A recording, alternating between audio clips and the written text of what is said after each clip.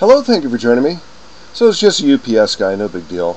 But anyways, uh, we left our last film in the middle of uh, doing this uh, fillet, so yeah, let's go ahead and do that fillet. So yeah.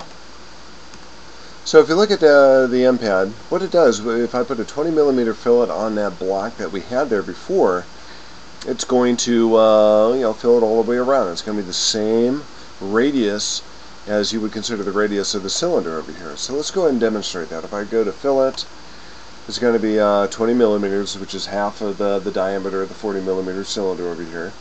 And if I make sure that I have a tangent propagation selected here, all I have to do is click on this edge here.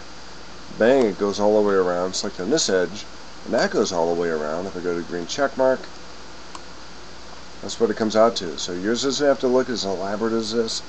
Whatever you want to do, however you want to do, you're not going to be judged on that, but I do want to make sure that you have something on here with a hole in it.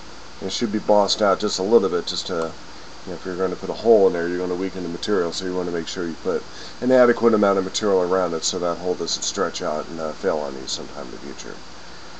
So I'm going to pull that down. I'm going to get an error with that second uh, fillet. So since this one isn't labeled, I'm going to go ahead and delete the one I just did. And that should be good to go. Alright, so what does this look like when we put into this into our assembly? Let's take a look at that. Go up to Window, Let's pick the one that we want, which is going to be U-Block 1 clamp. SolidWorks Assembly.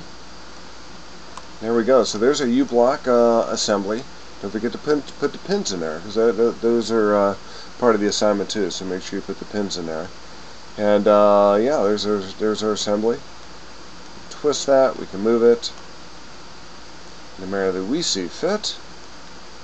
But one thing you want to keep in mind about uh, your assembly here is you want to make this, I'm not going to show you how to do it because you should know how to do that by now, but figure out what the hole size is for this and put a hole inside of the uh, inside of your U-block. If you do one, you're going to do the other one too. So it's going to appear over here in that one. It's going to appear here on this one. But make sure that that hole is the same hole uh, using a hole wizard feature, just a, just a regular hole that goes through that. Make sure it's the same size so that it fits, and in the same location, so that it fits uh, the hole wizard feature that we have in our pressure rod. Okay, that's pretty much all I wanted to tell you. Good luck with that, and we will see you next week.